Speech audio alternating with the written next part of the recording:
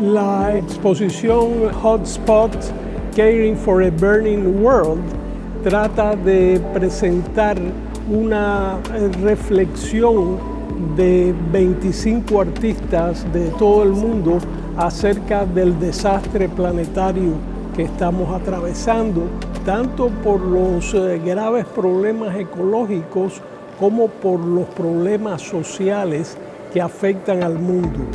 Por eso la exposición toma su nombre de una pieza que la abre de Mona Hatun, que se titula Hotspot.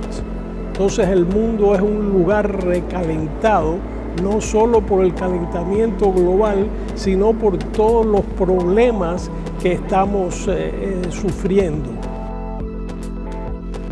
La muestra ha reunido artistas que no tratan este tema de una manera directa o documental, sino más bien de una manera más oblicua, más general, más poética, más estética. Yo creo que este uso de los instrumentos tropológicos y emotivos y estéticos del arte ayuda a trasladar un mensaje más eh, fuerte ¿no? y un mensaje que puede comunicarse más eh, con el público tratando de construir conciencia acerca de todo este eh, desastre al que nos aproximamos cada día más.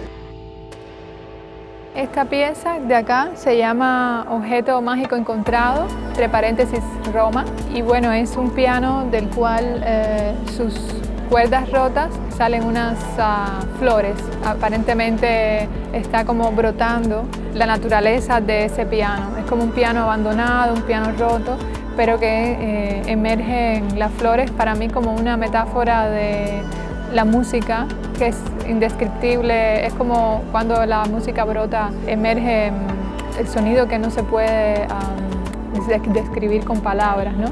y entonces eso es como una imagen de casi una eh, ilustración de lo que la música puede hacer eh, tal vez en nuestras almas, en nuestro cuerpo, en nuestro espírito.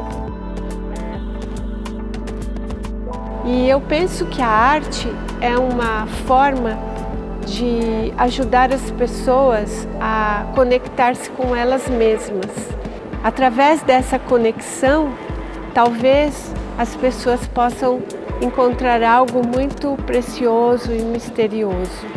E o trabalho que eu apresento nessa exposição é um desenho de parede da série intitulada Noites de Esperança, onde eu utilizo canetas de diferentes espessuras de traço para criar uma paisagem sem começo e fim, uma paisagem atemporal e propor para o observador um voo pelo cosmos, uma viagem cósmica, onde céu, mar, estrelas, pontes, vento, brisa estão juntos e propõem uma, uma viagem através do sonho e da memória.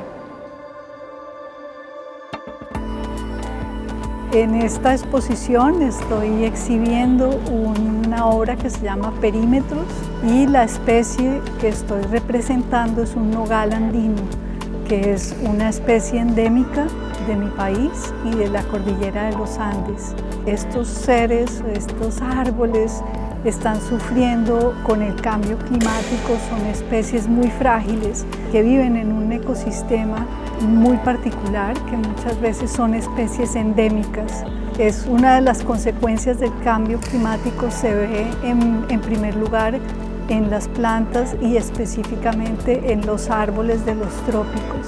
Es muy congruente que esté dentro de esta exposición que eh, trata el tema del cambio climático, del calentamiento global, de cómo todas las especies están sufriendo por cambios dramáticos del clima, de temperaturas, de hielos. En esta curaduría de Gerardo Mosquera se ve, puede ser una de las interpretaciones, es cómo el cambio climático se está eh, tornando cada vez más urgente, es cada vez más urgente tomar medidas, ya que a medida que pasa el tiempo las son mucho más graves. Se pretende que los trabajos dialoguen de manera formal y conceptual entre ellos, haciendo una coreografía eh, que pueda permitir al espectador llevarse esta imagen general acerca de los eh, desastres eh, que atraviesa nuestro planeta.